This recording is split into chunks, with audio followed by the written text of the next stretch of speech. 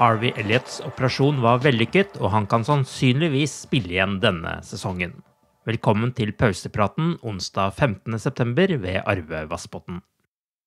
Tirsdag ble Harvey Elliot operert i London, og på kvelden postet han bilde på Instagram etter det som beskrives som en vellykket ankeloperasjon. Operasjonen var en suksess. Tusen takk til alle for den utrolige støtten jeg har fått.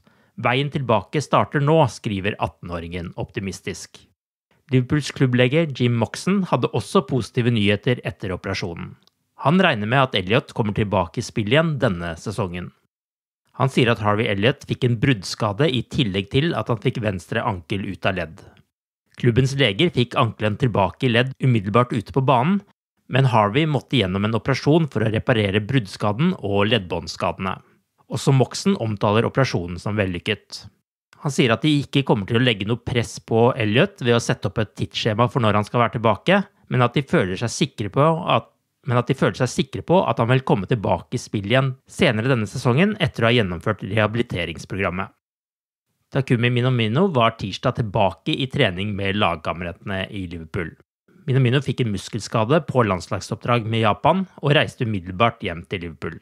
Angriperen var ikke med i troppen til kampen mot Leeds, men han kan nå være aktuell igjen for kveldens kamp. Firmino, som ble byttet ut med en hamstringsskade like før pause i kampen mot Chelsea, er fortsatt ikke tilbake i normal trening sammen med resten av laget, og det er heller ikke reservebekken Neko Williams. Divok Origi var ikke i kamptroppen mot Leeds, men trente som normalt med resten av laget på tirsdag. Milan kommer til kampen uten Zlatan Ibrahimovic, og dermed starter nok Ante Rebic eller Oliver Giroud på topp for italienerne. Giroud har også kommet tilbake etter skade nylig, og kan ikke spille hele kampen, ifølge AC Milans manager Stefano Pioli. Milan har fortsatt den gode formen fra forrige sesong inn i det nye, og de har vunnet alle de tre første kampene i Serie A. Og de har bare sluppet inn ett mål. I helgen ble Lazio slått 2-0. Dette er første gang siden mars 2020 at det skal spilles Champions League-fotball på Anfield for fulle tribuner. Og selv om Liverpool har møtt AC Milan i to finaler tidligere, i 2005 og 2007, har lagene aldri møttes i andre kamper, og aldri på Anfield. Men Liverpool har møtt en haug med andre italienske lag, og dette er femte sesongen på rad at Liverpool møter italiensk motstand. Da Liverpool tok seg til Champions League-finalen i Kiev i 2018, ble grunnlaget lagt gjennom en imponerende 5-2-seier over Roma på Anfield. Og både i 2018-19 og 2019-20-sesongen trakk Liverpool Napoli i gruppespillet. Den første av disse sesongene ble det seier 1-0 på hjemmebane, mens det sesongen etter ble 1-1 på Anfield. Inntil Atalanta kom på besøk mot slutten av november i fjor, hadde ikke et italiensk lag vunnet på Anfield siden Udinese vant 3-2 over Liverpool i Europa League i oktober 2012.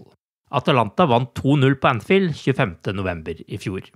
Totalt har det blitt åtte seire, én uavgjort og fem tap på 14 kamper mot italienske lag på Anfield.